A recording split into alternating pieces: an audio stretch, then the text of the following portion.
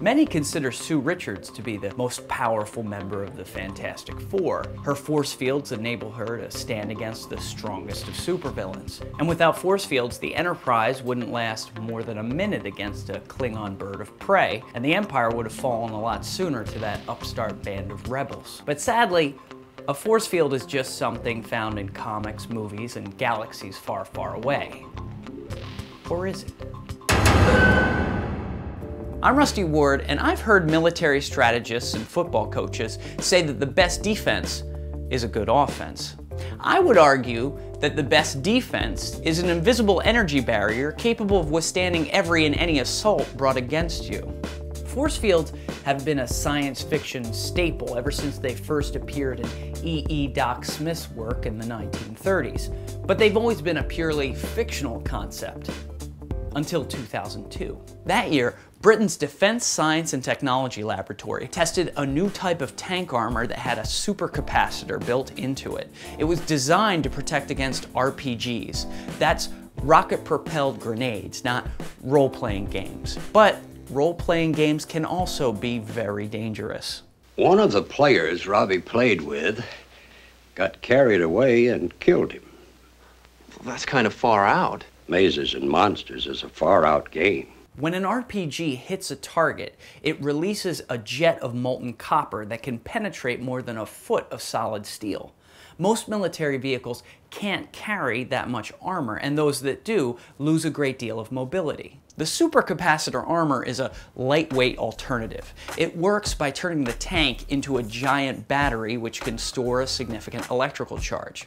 When an RPG penetrates the outer layer of armor, it completes the circuit created by the supercapacitor. This causes the stored electrical energy to be dumped and creates an instantaneous electromagnetic field.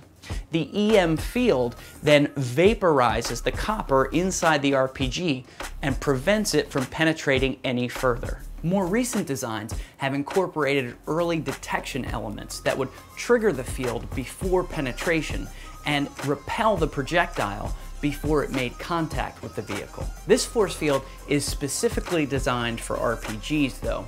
Normal armor would still be used to protect against bullets because the EM field would only work in short bursts and not be constantly sustained. Also, most bullets are made of lead, which is magnetically very weak, so an EM field wouldn't be very effective in repelling them. And since you can't tell a bad guy what type of weapon to bring to a fight, you're gonna need a more all-purpose force field.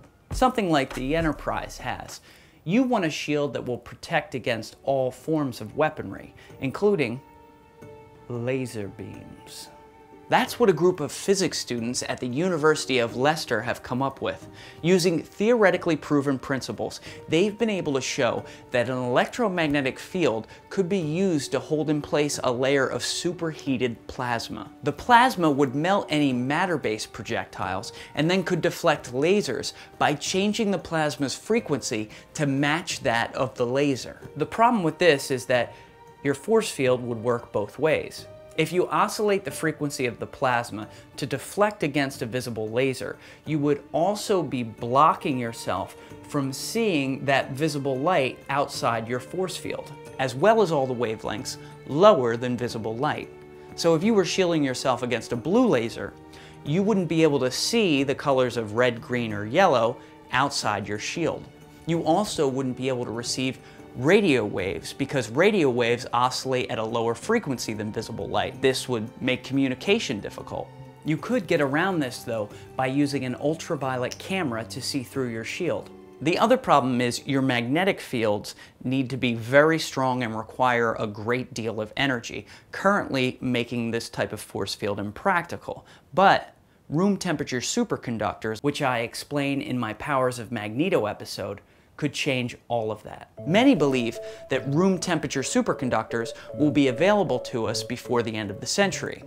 With these, we could create incredibly powerful magnetic fields with much smaller magnets and much less energy. It may even pave the way for not just Starship deflector shields, but your own personal force field. Until that time, I'll have to rely on my cat-like reflexes.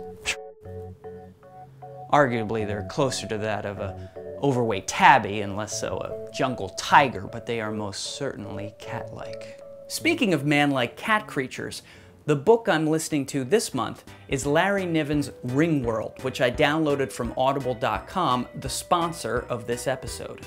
Ringworld is about two futuristic humans and two incredibly awesome aliens that set out to explore an artificial world that's been created in the form of a ring around a star.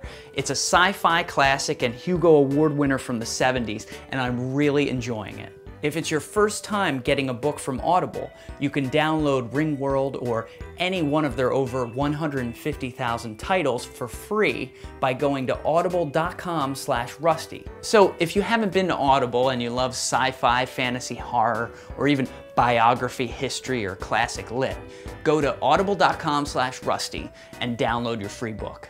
Thanks so much for watching and supporting my series. If this is your first time here, subscribe and check out a previous episode, and be sure to tell me what superpower you want.